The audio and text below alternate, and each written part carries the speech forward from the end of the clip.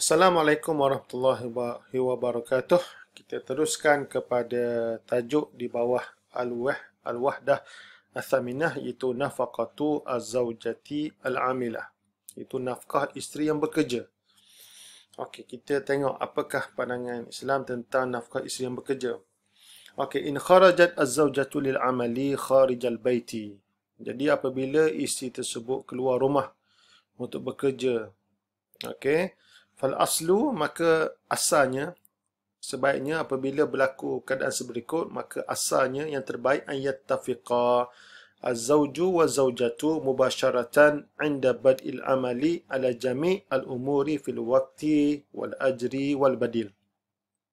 Maksudnya hendaklah suami isteri tersebut dia bersepakat terus apabila isteri tersebut memulakan kerja ke atas segala perkara yang melibatkan masa, upah dan gantian. Apa benda yang mungkin mereka boleh bekerjasama dalam perkara ini.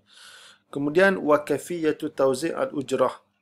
Ha, dan cara bagaimana nak meng mengagih-agihkan upah gaji ha, gaji tersebut wa tahammul aba al-bait dan juga nak menanggung bebanan rumah wal, wal khadimah dan pembantu rumah wa nafaqati sayyarah dan juga um, uh, belanja kereta. Maksudnya kos penyelenggaraan kereta minyak dan sebagainya dengannya.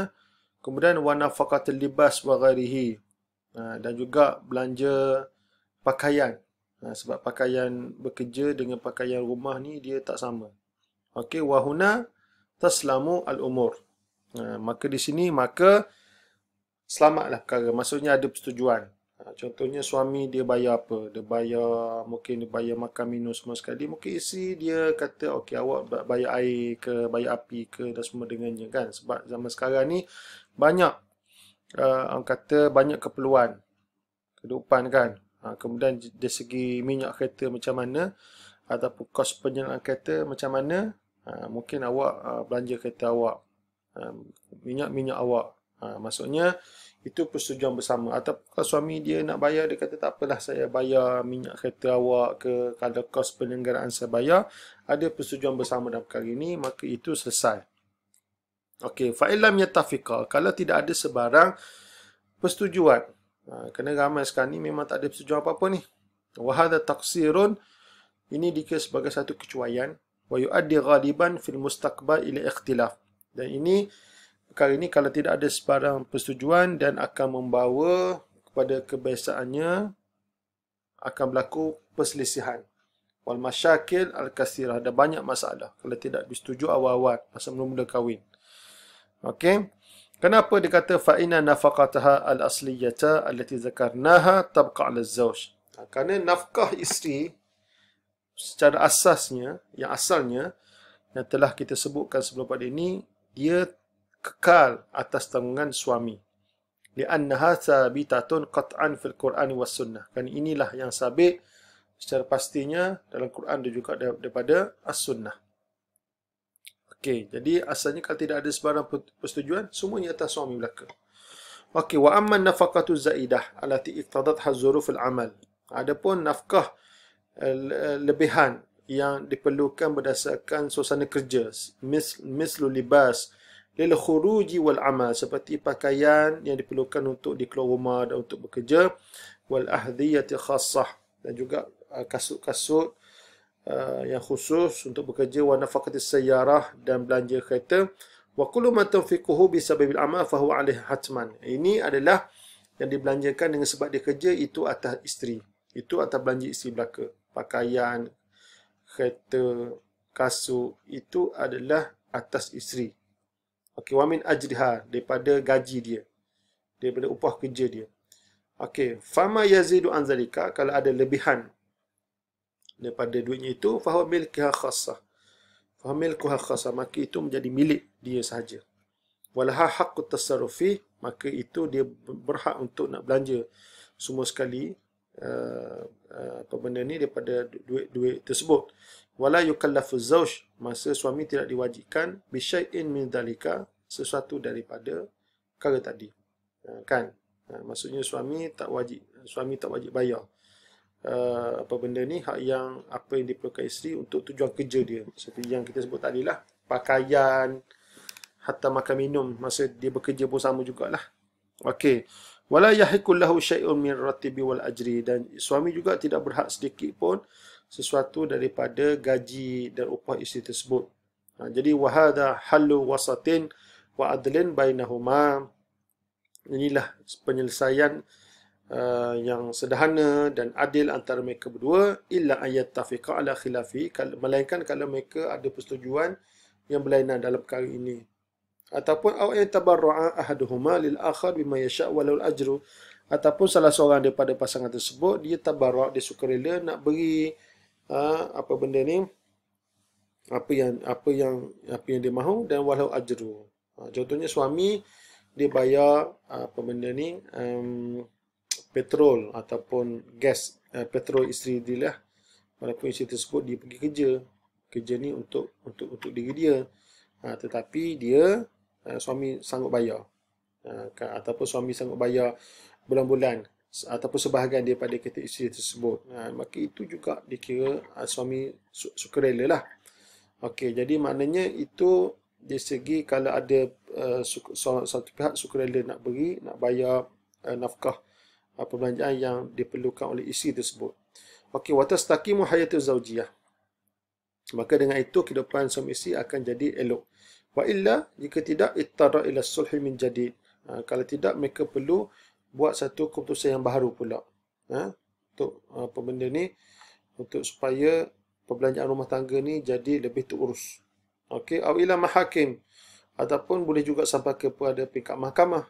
Aw bi raf'il amri lil qadi kan ataupun diangkat kes ni ke ke qadi lah. Sama lah ke mahkamah tadi.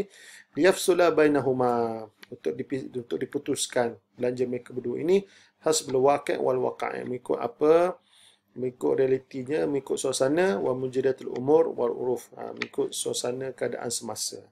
Ha, jadi ini adalah uh, asas ha, ataupun kita fatwa Dr. Muhammad Zuhaili mengikut suasana semasa. Jadi kesimpulannya Uh, kalau mula-mula kahwin ni eloklah mereka bagikan tanggungjawab tersebutlah mungkin dalam kehidupan zaman sekarang ni banyak tanggungan. Ha, apatah lagi kalau duduk di mana-mana besar, tanggungan tu banyak, kos kehidupan tu, bil itu, bil ini, kalau mereka dapat membahagikan, itulah yang terbaik sekali eh. Okey, kalau tidak ada apa-apa, mungkin semua sekali itu atas suami. Kalau tidak ada sebarang persetujuan, semua sekali itu rumah ke bil apa semua sekali itu, semua atas suami belaka. Okey, itu asas dia. Okey, manakala uh, belanja yang diperlukan oleh isteri untuk tujuan kerjanya itu adalah atas isteri belaka. Melainkan kalau suami sanggup nak sponsor lah sebagian daripada belanja belanja kos uh, selenggara kereta ke kos minyak ke itu atas kalau suami nak sukarela bagi itu itu dikira sebagai dapat pahala lah walaupun asasnya itu adalah atas isteri kan itu adalah keperluan kerja dia. Okey, kemudian uh, akhir sekali uh, ajzu zauji an nafaqati zaujah. Ketidakmampuan suami untuk memberi nafkah isteri. Okey, idza ajiza zauj, jika suami tidak mampu untuk melaksanakan uh, nafkah isteri. Yang wajib, maka fazaujatu bil khiyar, maka isteri ada pilihan. Insya sabar. Dan jika mahu dia boleh bersabar. Wa anfaqat mimaliha. Dan dia boleh membelanjakan nafkah diri itu daripada harta dia. Atau iqtaradat. Ataupun dia meminjam. Wa anfaqat ala nafsiha. Dan dia daripada pinjaman tersebut dia membiayai dirinya. Jadi wa nafaqatuha fi kilta halataini dainu alaihi maksudnya perbelanjaan isi dan dua keadaan ini. Maksudnya dia ambil daripada duitnya sendiri ataupun dia meminjam itu adalah hutang atas suami il ila an yusira sehinggalah suami tersebut senang. Maksudnya suami tersebut senang. Wa insya talabat fasakh nikah dan jika dia mahu dia juga boleh fasah nikah. Ha, fasah nikah dengan sebab ketidakmampuan suami untuk membiayai nafkah. Waqat suila Rasulullah sallallahu alaihi wasallam, maka Rasulullah sallallahu alaihi wasallam telah ditanya, "Amman ya'suru bi nafaqati imrati?" terhadap kes lelaki yang tidak mahu membiayai nafkah isteri dia, faqala yufarraqu bainahuma. Nabi kata boleh dipisahkan antara mereka berdua. Okey, ha, jadi maksudnya dari segi uh, fiqahnya mengikut mazhab Syafi'i kalau suami tak mampu memberi nafkah isteri, isteri ada hak uh, untuk uh, minta fasah. Okey.